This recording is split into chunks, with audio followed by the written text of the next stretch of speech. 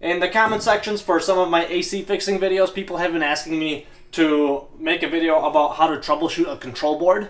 And they're actually really not that hard to troubleshoot. Unfortunately, to troubleshoot a control board, you do need a meter. So if you don't have one, you might need to get one. So take your furnace doors off, or your air handler. And most air handlers or furnaces will have a control board. Some of the older ones will not. For the most part, there is a control board in every furnace. Typically, it'll be located right in front of the blower housing, where your blower motor is. Once in a while, it'll be in the upper section too.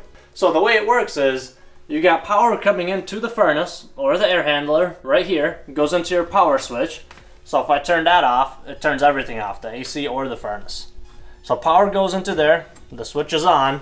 So then power goes into here, line voltage. And then from the junction box, it goes down.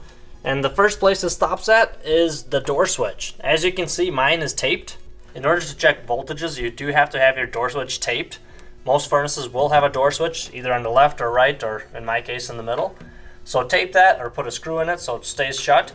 And then always keep in mind that it is live. You have 120 volts somewhere there, so be mindful and don't touch any terminals so you don't get shocked. So after the power goes into the door switch, if the door switch is closed, the power then goes into the control board. Typically it'll be marked line. Line voltage goes into that terminal. So from the door switch it goes into there and that's what powers up your control board. So after power goes into it, the circuit board part of it brings power to whatever is calling for power, like the blower motor or the inducer or the igniter. So what will happen is sometimes, let's say during the AC season, the AC outside will turn on, everything seems to be working good, but the blower motor inside of the furnace is not turning on. Sometimes what's wrong is that the board is not sending power to the blower motor and simply not powering it up. Or other times you have voltage coming in from the transformer, 24 volts, into the control board, but then that voltage does not come back out. That means there's some kind of a circuit or a diode or some resistor inside the board that got burnt out. So in a nutshell, how I was taught is if there's power going in but no power coming out, that means the board is bad. So what I like to do when I start is I set my meter to voltage. My door switch is taped shut so I have power going through. I like to first verify that my furnace is getting power. And a lot of times a good indicator will be the indicator light, the diagnostic indicator light. If that's blinking, then most likely you do have power, you have 120 volts and you have 24 volts. But not all furnaces will have that light. So what I like to do is check it quick. So if you pull off the wire that goes to your line terminal, from the door switch to your line terminal, just pull that off. Stick one meter lead in there and with your other terminal, you need to find a common somewhere. I like to just use a the common on the transformer just because it's more accessible than the rest of them. And if you just stick your lead into the metal spade of that transformer, common there, you should get 120 volts. So if you look at my meter,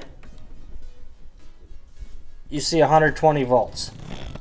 So from my line terminal to a common, you're supposed to have 120 volts, and I do have voltage there. that means my furnace is getting power, and it's getting past that door switch. So I can plug that back in. Next, what I like to check is that my transformer is getting 120 volts as well. So I like to loosen the connectors on the transformer, black and white. That's going to be our 120 volt side. Usually it's a black and white wire. I like to just leave them like half unplugged like that so I can put my meter leads on them.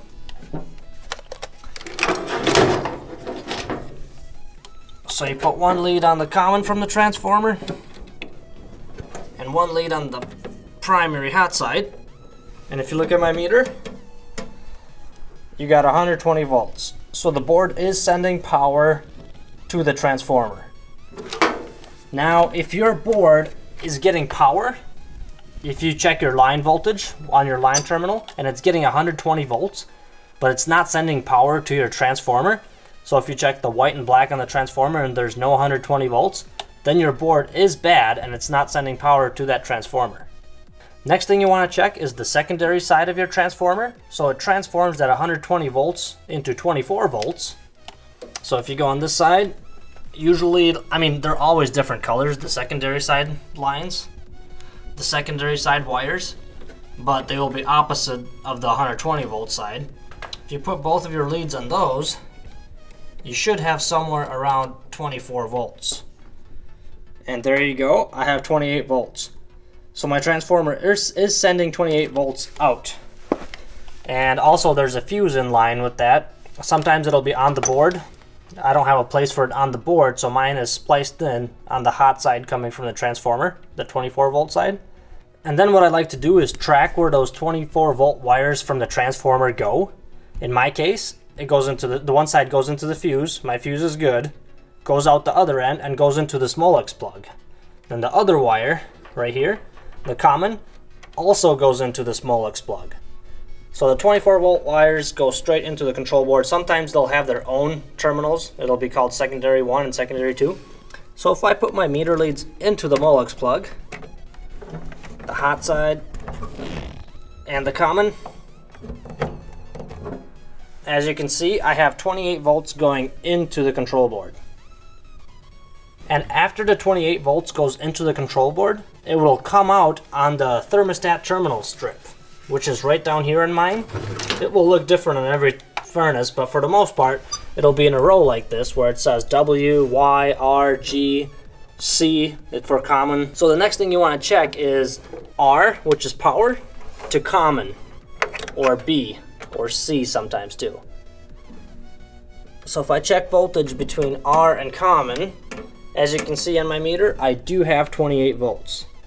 So the board received 28 volts, and it's putting out 28 volts at that terminal strip. Now if you're getting voltage that far, then chances are your control board is good. Usually you're going to lose voltage somewhere before that. Also, what you can find helpful is on the back of your furnace door, most of the time there will be a wiring schematic. And it could be hard to follow, like mine for example, has a bunch of lines and stuff.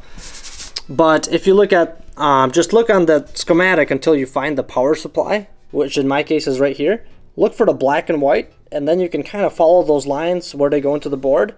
And then it'll explain sometimes what color those wires are, what terminals they go into, and you know, sometimes it'll help you track down the wires that way. Also, if you do end up needing a new control board, the way you go about looking for the new replacement board, most of the time on the board itself, it'll tell you its model number or part number. And in my case, it even tells me replace with CNT2184. So if I ever needed a new board, all I had to do is look up this board right here and get it on Amazon or whatever. And that is the basics of troubleshooting your control board.